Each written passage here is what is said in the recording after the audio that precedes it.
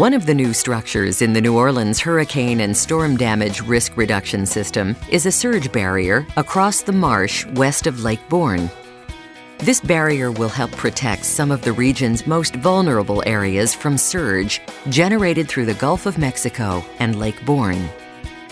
A 10,000 foot barrier, almost two miles long, is being constructed near the confluence of the Gulf Intracoastal Waterway and the Mississippi River Gulf Outlet.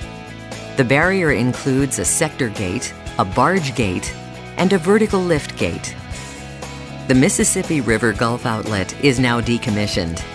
This cutaway shows how the deep portion of the channel was partially filled using rock and sand to serve as the foundation for the new flood wall. The barrier's flood wall is made up of circular, reinforced spun cast concrete piles that are driven more than 100 feet deep Grout is placed in between each 66 inch concrete pile, along with two smaller 18 inch closure piles to fill the gap. On the protected or populated side of the barrier, 36 inch batter piles are driven at an angle to support the flood wall. These angled piles reach nearly 200 feet deep for added stability. Each of the 66 inch piles is filled with steel reinforcing bars and concrete. A concrete cap and parapet wall top off the pile system, providing a roadway for operations and maintenance crews. The Lake Borgne Surge Barrier is the largest design-build civil works project in the history of the Army Corps of Engineers, and it will be complete in 2011.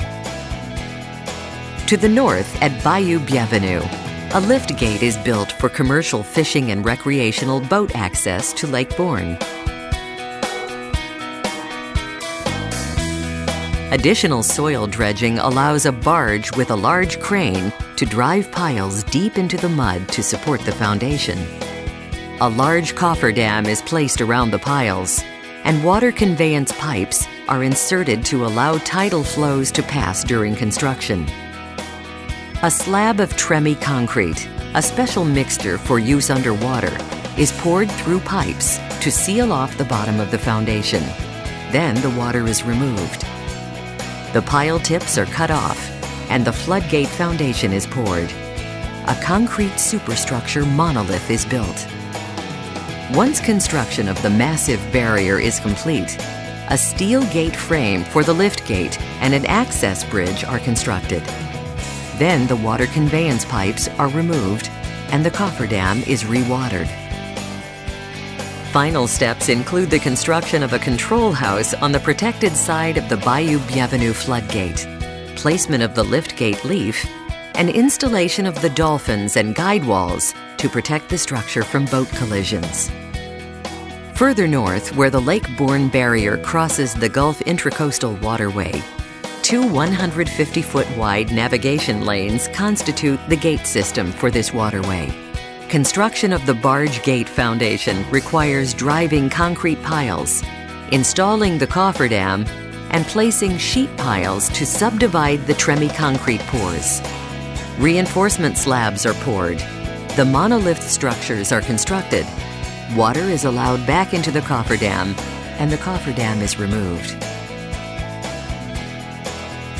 Construction then begins on the sector gate, Piles are driven and a cofferdam is installed. Sheet piles subdivide the Tremie pours and the concrete sill is poured. The pile tips are cut off. The reinforcement slabs are poured and the cofferdam is rewatered and removed. Next, the steel sector gate and maintenance bulkheads are installed, and the concrete barge gate is floated into place a safe house with generators is built, along with an elevated access ramp from the New Orleans East back levees. This safe house also contains the gate controls.